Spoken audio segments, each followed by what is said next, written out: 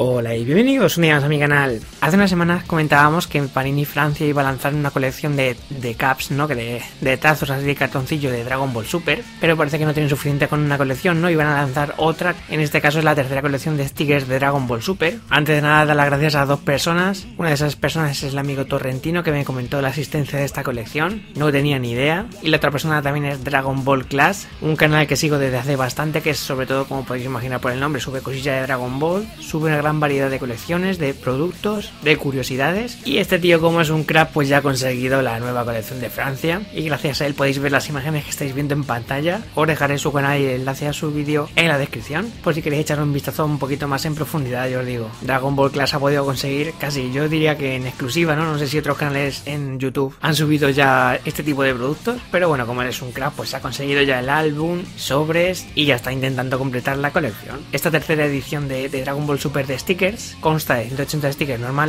más los exclusivos, bueno, exclusivos no, los especiales que vienen, que vienen, no, que hay que pegar en el póster. Póster que por cierto tiene muy buena pinta, ¿no? Con, con todos los stickers ya pegados, tiene que estar muy chulo. Y como suele ser habitual, pues encontraremos stickers normales, tanto de ilustraciones de personajes, fotogramas de la serie. Luego encontramos también los típicos stickers troquelados, pues por eso, pues si por ejemplo sale en el álbum Goku y tiene la cara así con colores más apagados, pues falta pues eso, pegarle directamente pues la cabeza. También tenemos los stickers brillantes, ¿no? Que podemos encontrar a lo largo del álbum y también en el póster. Y luego unos stickers que a mí pues, personalmente me han hecho mucha gracia, ¿no? Que son como unos unas pegatinas dobles, ¿no? Que tienen la mitad de tamaño que un sticker normal, ¿no? Y por eso te vienen dos mini stickers en, en cada cromo. Y me han gustado bastante, ¿no? Las ilustraciones tienen muy buena pinta. Y como comentábamos también en, el, en mis opiniones de, de la segunda edición de stickers de Dragon Ball Super que salió hace ya un tiempo aquí en España. Lo malo de estas colecciones es que si nos tienen la oportunidad de hacer un álbum de Dragon Ball Super a cada uno, todos elegiríamos unas imágenes increíbles y todos serían diferentes, ¿no? En el vídeo de Dragon Ball Class también hemos podido ver que algunos fotogramas pues no son de los más representativos de Dragon Ball Super, ¿no? Como muy bien dice él,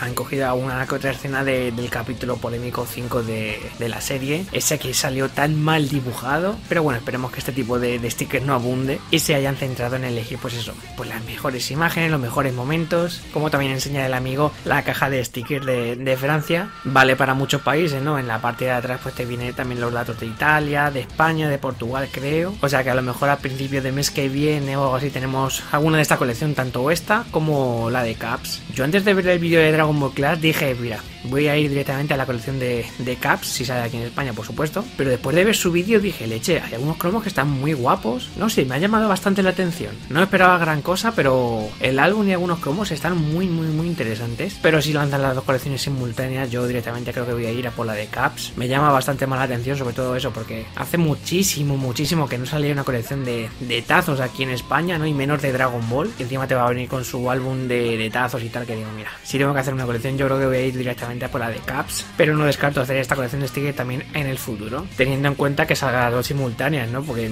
depende también la que salga aquí en España, pues me haré una u otra. Así que nada, de nuevo dar las gracias a Dragon Ball Class y también a Torrentino. Ya sé que soy muy cansino por los agradecimientos, pero es que gracias a ellos tenemos este vídeo. Así que nada, os recuerdo que dejo en la descripción del vídeo el enlace a, a su vídeo y también a su canal, donde podréis ver detenidamente todos estos productos. Y eso es todo, espero que os haya gustado, que os haya servido toda esta información y nos vemos en el siguiente vídeo.